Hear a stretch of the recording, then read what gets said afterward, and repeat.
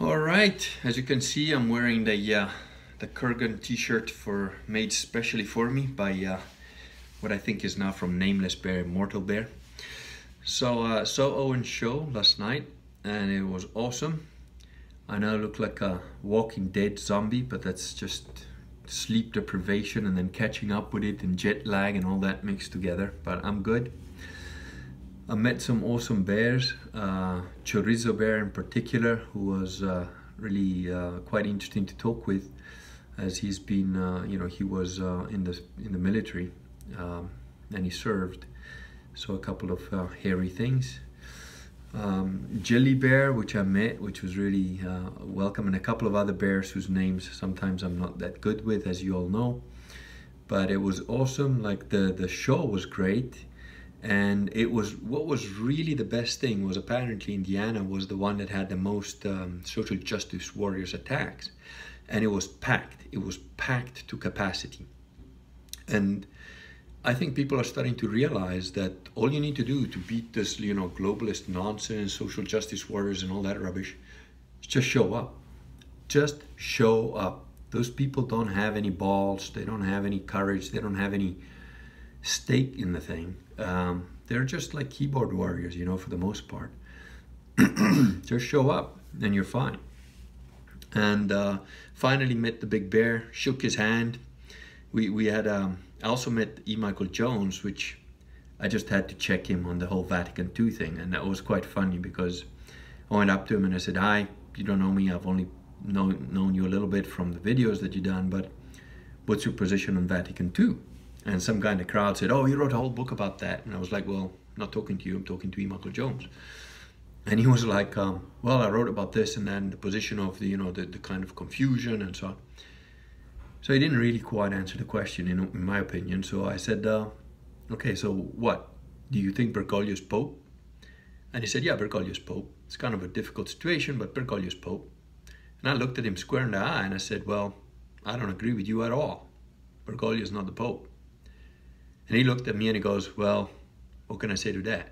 What are we going to do about it? We're going to argue about it? And I said, No. so that was that. But uh, it's a funny thing.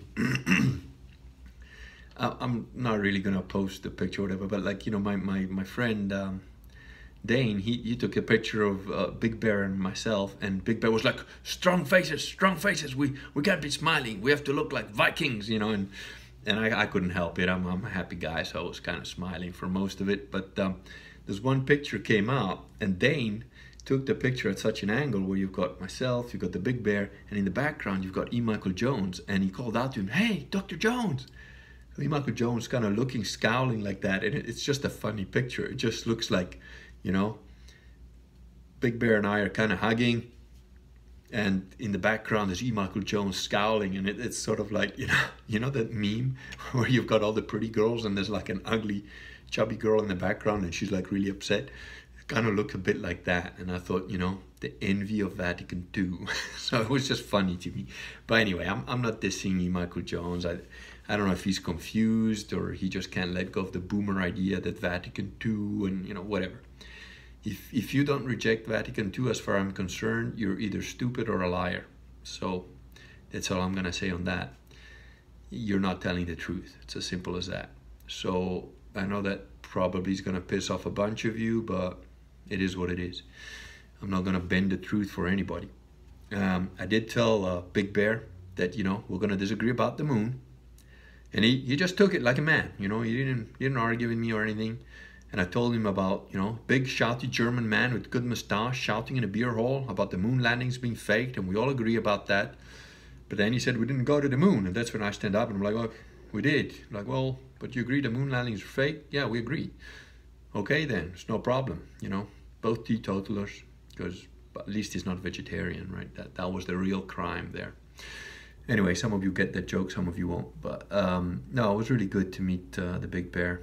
I did give him the silver coin. I uh, kept my word, got him the silver. You know, for when the boogaloo happens. And uh, no, it was really great. It was good to see the support that he got from everybody. Uh, met a bunch of really cool bears. Met Coddington Bear. Met James, the guy that was like doing all the production stuff. did a little mini interview for his documentary, for uh, Owen's documentary. I had a little piece of an interview there.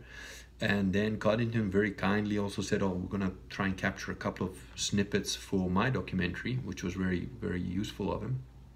And uh, um, met Ryan. That's um, had breakfast with Ryan and Coddington actually. On um, Ryan is uh, Owen's friend that lives next door to him, the trucker.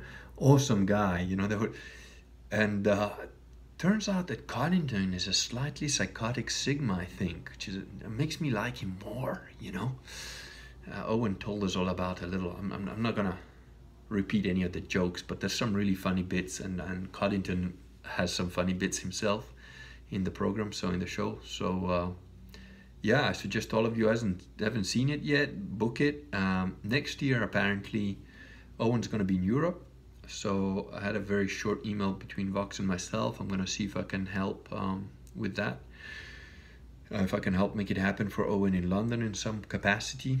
I don't know. I have to check with some friends of mine that know about these things and have done this sort of stuff before. So we'll look into that. I'm still in the hotel. I'm traveling back really early in the morning, so um, probably won't be another video up until next, uh, you know, this coming week sometime. But it was definitely a worthwhile experience. I met some really cool people. I've now got my uh, sergeant at arms in the U.S. of A.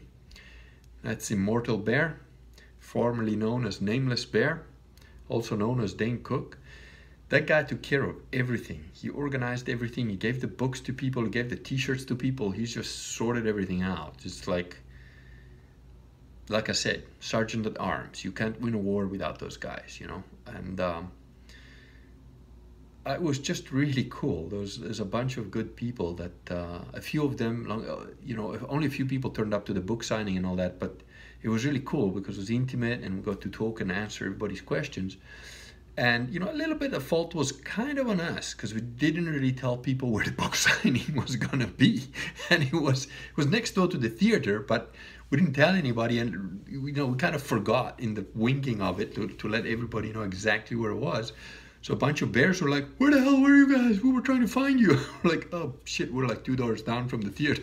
so uh, we'll probably try and organize that a little bit better next time, but. Uh, yeah, it was it was really good fun, and uh, all of those of you that I met, thank you very much. We, we exchanged books with a lady that sent me a, gave me a book about a archangel, which is really interesting actually. Uh, so there's a lot of information, a lot of names and contact numbers, and that were passed on. And for a while, because um, I got a, an email that came up as being from it, well, it didn't really come up as being from Alicia, you know, my sound mistress but it had her name on it and I quickly scanned it and I said, oh, that's the number. And so I texted the numbers, hey, where are you? You know, come say hi. But it was actually Coddington's number. So Coddington kept getting the schizophrenic texts from me. Like I've just spoken to him and then I'm like, hey, I'm here by the water, you know, come say hello if you're not busy. And he's like, uh, okay, I'm just doing something now with the sound.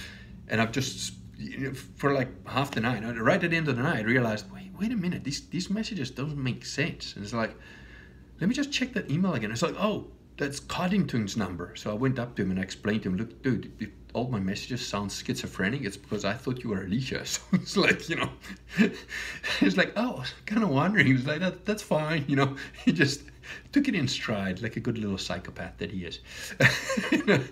Hi, Coddington. No, he's he's awesome. I, I really like him. It was it was good to get to know the, the, the people that we you know talk about and joke with. And uh, Owen gave me like you know, he said it when he started out. We got Dr. Michael Jones here, and we got the Kurgan. And then some guy goes, look at the Kurgan," and, he, and like Owen's like, "Yeah, I want to ban that guy." You know, fucking hate hecklers. So don't don't heckle the man. Don't heckle the bear. He'll maul you. He'll maul you.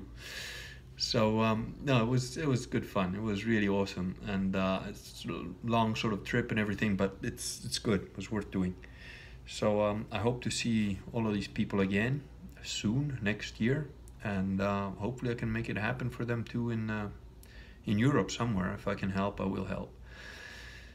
And uh, thank you all for all of you immortals that are out there and uh, supporting it and made all this possible. Thanks to Dane, Dane, and uh, all of you that donated. You know, it was thank you. It was uh, really. I think Dane has now fulfilled all the. Um, the t-shirts and book requests and whatever. But if for some reason somebody got missed out, just let us know. We'll, we'll sort it. You know. Um, that's basically it. It's gonna be a short one because I'm doing everything from the phone and I'm kind of losing my voice a little bit. So that'll be that until uh, next week sometime. Um, have a good uh, what is it today? Saturday? Yeah, I think it's Saturday. Have a good have a good weekend. It's a weekend, right? Good night.